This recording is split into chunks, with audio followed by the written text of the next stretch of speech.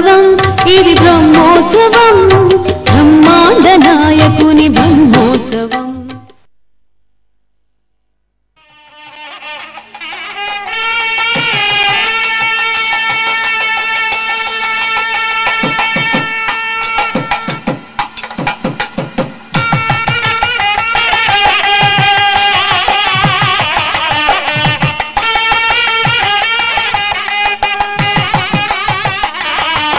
సచక్రం సగరీతకుండలం సపీతవస్త్రం సరసీరుహేక్షణం సహారవక్షస్థల శోభికౌస్తుభం నమామి విష్ణుం శిరసా చతుర్భుజం దేవాదిదేవుడు ఆదిదేవుడు అయినటువంటి పరమాత్మ కలియుగంలో భక్తకోటిని అనుగ్రహించడం కోసం వెంకటాచలంలో తిరుమల క్షేత్రంలో వెంకటేశునుగా అవతరించారు.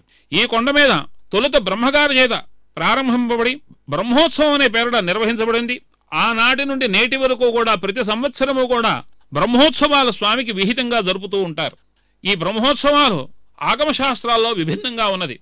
నెల రోజులుగా కానీ ఇరవై ఏడు రోజులుగా కానీ పన్నెండు రోజులుగా కానీ నవాన్నిక బ్రహ్మోత్సవం తొమ్మిది రోజులుగా కానీ ఇలా చేయడం సంప్రదాయానుసారంగా ఉన్నది. మన కొండ మీద వైఖానసాగమాన్ని అనుసరించి నవాన్హిక బ్రహ్మోత్సవం. తొమ్మిది రోజుల పాటు అత్యంత వైభవోపేతంగా ఈ బ్రహ్మోత్సవాన్ని జరిపి స్వామిని సేవిస్తారు. ఈ బ్రహ్మోత్సవంలో వివిధములైనటువంటి వాహనముల మీద స్వామి అధిరోహించి భక్తుల్ని అనుగ్రహిస్తూ ఉంటారు.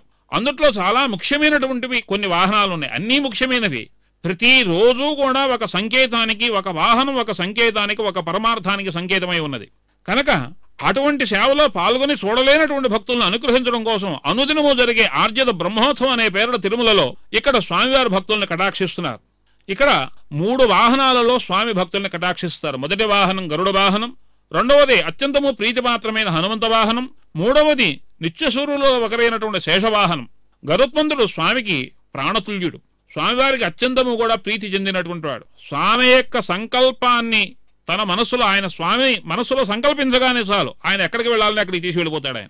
ఈ గరుత్మంతుని యొక్క రూపాన్ని కనుక చూస్తే వేదంలో చాలా వైభవోపేతంగా చెప్పారు. వేదమే గరుడుని యొక్క రూపంలో వచ్చినట్టుగా అభివర్ణించారు. ఆయన వేదమంత్రములు సామవేదము రెక్కలుగాను యజుర్వేదం ముఖంగాను ఇలా వేదములన్నీ కలిస్తే గరుత్మంతుని యొక్క రూపంగా వేదం అభివర్ణించింది. సుపర్ణోశ గరుత్మాం త్రువృత్తేషిరోగ యత్రం అనే వేదమంత్రంలో గరుత్మంతుని యొక్క వైభవాన్ని చక్కగా వర్ణించారు. అటువంటి గరుత్మంతుని మీద స్వామి అధిష్ఠించి భక్తులను అనుగ్రహిస్తారు. బుద్ధిర్బలం యశోధైర్యం నిర్భయత్వమరోగత అజాడ్యం వాక్పడుత్వంచ హనుమత్ స్మరణాత్ భవేత్ స్వామి యొక్క సేవలో నిత్యము సన్నిహితముగా ఉండే భక్తుల్లో ప్రధానముడు హనుమంతుడు. ఈ హనుమంతుడి యొక్క సేవ వలన భక్తులకి కలిగే ప్రయోజనాలు ఏమిటంటే బుద్ధి బలము యశస్సు ధైర్యము నిర్భయత్వము రోగరహితంగా ప్రకాశించడము జాడ్యం లేకుండా ఉండటం వాక్పటిమి కలిగి ఉండటం ఈ మొదలుగా కలిగినటువంటి విభూతులన్నీ కూడా హనుమంతుని యొక్క అనుగ్రహంలో కలుగుతాయని మనకి చెబుతోంది. సేవకు పరాకాష్ఠగా హనుమంతుని చెప్పవచ్చు. ఒక దూత ఏ రీతిగా శత్రురాజుల దగ్గర ప్రవర్తించాలి?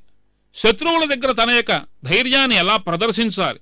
తాను వెళ్ళినటువంటి కార్యక్రమాన్ని ఏ రీతిగా చక్కబెట్టాలి అనేది సుందరకాండలో హనుమ చేసినటువంటి సాహసాన్ని బట్టి మనకి చాలా అద్భుతంగా ఆనందాన్ని చేకూరుస్తుంది. అటువంటి నిత్యము కూడా అహోరాత్రములు కష్టించి స్వామి సీతను స్వామి చెంతకు చేర్చి అనుగ్రహాన్ని పొందినటువంటి రామదాసుడైన హనుమంతుని వాహనంగా చేసుకుని కలియుగంలో వెంకటేశ్వర స్వామి భక్తులను కటాక్షించారు.